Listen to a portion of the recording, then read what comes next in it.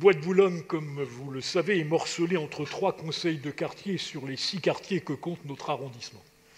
Et le Bois de Boulogne est, pour le 16e arrondissement et pour les Parisiens, un lieu d'importance, à la fois sur le plan écologique et sur le plan des loisirs des Parisiens.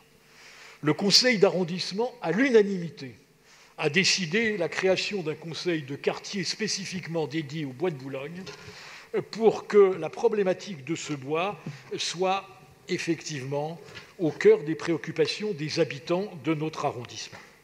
C'est à la fois de l'intérêt général et de la prise en compte des thématiques spécifiques de ce bois dans l'instance d'une démocratie locale dédiée. J'avoue que je suis très surpris de voir que l'exécutif, qui n'a que le mot démocratie participative à la bouche, qui nous dit qu'il faut la citoyenneté partout, s'oppose à une décision prise unanimement par le conseil d'arrondissement, toutes tendances politiques confondues, au motif, je ne sais pas, ça ne coûte rien à la ville, ça ne peut qu'apporter quelque chose. Est-ce que c'est parce que c'est nous qui le proposons que vous le refusez Ou est-ce que la démocratie participative, vous ne la concevez que quand c'est vous qui l'organisez? Il y a un côté tartuffe chez vous.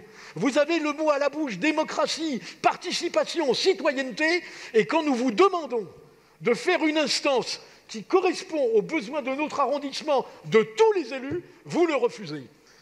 Eh bien, je dois dire que vous commencez mal vos discours sur la démocratie participative que vous venez de vanter dans toutes vos interventions et que vous allez fouler aux pieds par votre vote. Je vous remercie.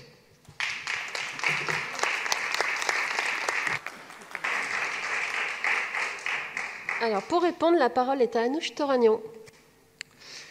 Madame la maire,